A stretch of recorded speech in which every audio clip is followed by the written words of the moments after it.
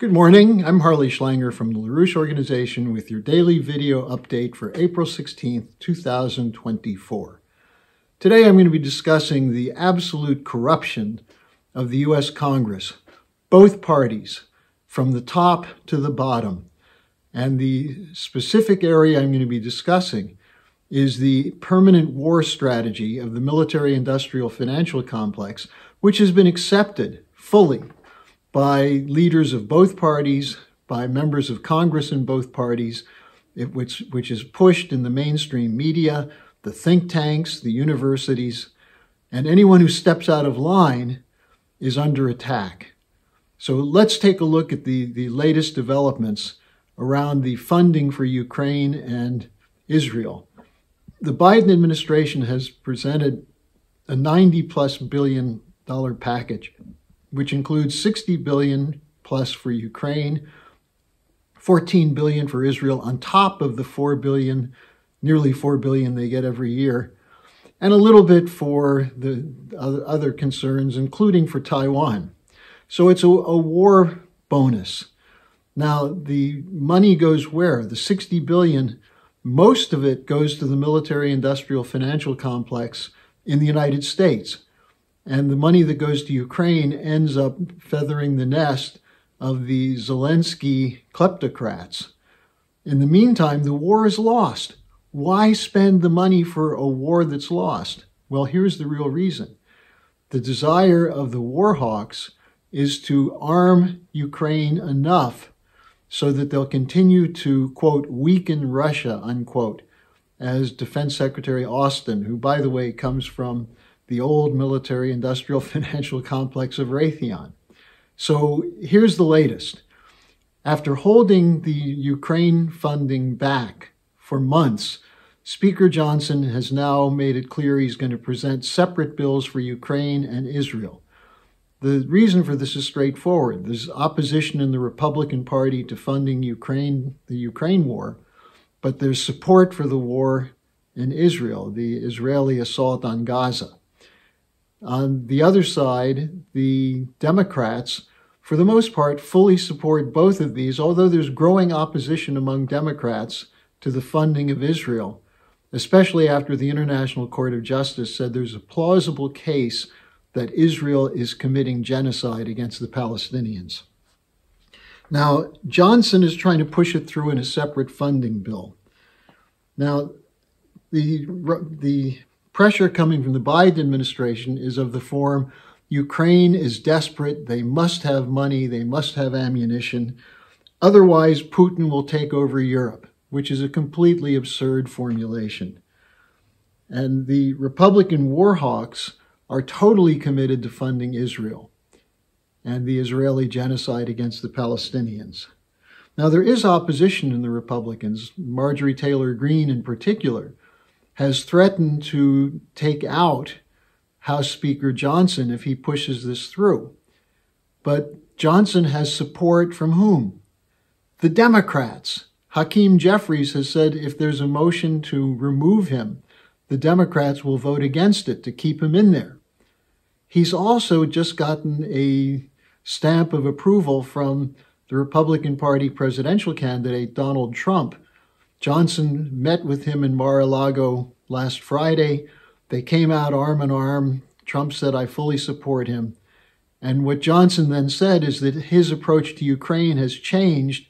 He now supports what Trump proposed, which they're calling a loan lease agreement, in which the 60 billion would be a loan to Ukraine.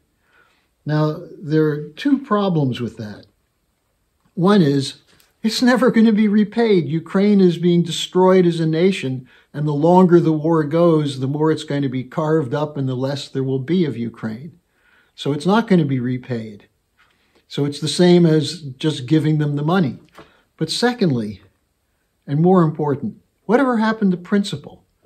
I thought the Republicans were opposing the money to Ukraine based on the idea that it's money going to the military industrial financial complex for permanent wars wars that do nothing to uh, augment American security and actually weaken the security of the United States. So, what happened to the idea that there's no funding for the deep state wars based on fake intelligence? Well, they're going to trade it away. Trade it away to try and get money for protecting the U.S. border. Why is there even a quid pro quo on something like this? For something that seems obvious. So, Johnson, with the bailout coming from the Democrats, is now prepared to go ahead with this. Now, then we saw another aspect of Johnson's speakership. Three times the Republicans voted down the bill to authorize the FISA court for another five years. Remember, the FISA court is a surveillance agency that spies on Americans and foreigners. They say it doesn't spy on Americans, but we know it does because during Russiagate, it was spying on President Trump. And the FBI went to the FISA court many times with lies, with lies about Russiagate to get approval to go ahead and do wiretaps and other such things. So, what did Johnson do? He compromised. He said, okay, let's instead of authorizing it for five years, we'll authorize it for just two years. And they passed it after voting it down three times. The fourth time it passed. Well, again, where are the principles of statecraft? Why give a rubber stamp to the deep state to continue the secret surveillance that intimidates and suppresses Americans and makes it criminal to oppose the government of the oligarchy? Now, then on the separate bill to fund Israel, there's support from many of the Republicans and also almost all of the Biden Democrats. That's starting to change a little bit because of the absolute uh, brutal nature of the Israeli occupation and uh, pounding of Gaza, the killing of uh, tens of thousands of children and, and women. For what? Supposedly the war on terror. Well, the war on terror has been one of the biggest boondoggles of the military industrial financial complex in part because the MIFC is funding the terrorists, as in Syria. As we found out that Netanyahu gave over a billion dollars to Hamas to split the Palestinians into two separate camps. So, again, where are the principles? Now, here's an interesting point. Take the case of Pelosi, and there's no more corrupt person in the Congress than Nancy Pelosi. At one point, she said those who are opposing the money for Israel should be investigate, investigated because they're probably on Putin's payroll. She called on an FBI investigation for people who are demonstrating outside her home and in the Congress against the funding for Israel. Pelosi basically said, We must put Israel first. We'll never pull back from funding Israeli uh, operations and defending them. It's a permanent obligation. Then she pivoted and said, We must stop the suffering in Gaza, but to call for a ceasefire is Putin's message. Well, how are you going to stop the suffering if you're continuing to bombard the housing that uh, re- the refugees from northern Gaza are crowded into? It's a complete hypocritical statement, typical of the pro war faction. Now, She's saying the same thing with the opposition to funding Ukraine. It's Putin's message, it's Putin's policy that the Republicans are following. So it's the old Russiagate story. And then on April 9th, a letter from 40 Democrats to Biden called on him to stop the arms transfer to Israel after the killing of seven aid workers from the World Central Kitchen. Pelosi signed the letter. So, which is it? Total support for Israel or withholding the funds? Now, the Biden administration has responded by saying they're considering conditions on the aid to Israel related to uh, lessening the suffering of the Palestinians. You want to lessen the suffering of the Palestinians? Stop sending the weapons and the money to Israel and tell them there'll be no more support from the United States. But he won't do that because the permanent war faction controls both parties in Washington. Now, finally, we come to the hypocrisy over the uh, Iran drone and missile strikes against Israel. Now, what's clear is that the Iranians gave Israel and the U.S. plenty of warning so that the missiles could be intercepted. And secondly, to avoid civilian casualties. The Israelis had no such uh, withholding of firepower when they attacked the Iranian embassy or the Iranian consulate in Damascus. and that killed 13 people. But here's the interesting thing virtually everyone in the West is condemning the Iranian retaliation. None of them condemn the Israeli strike that caused Iran to retaliate.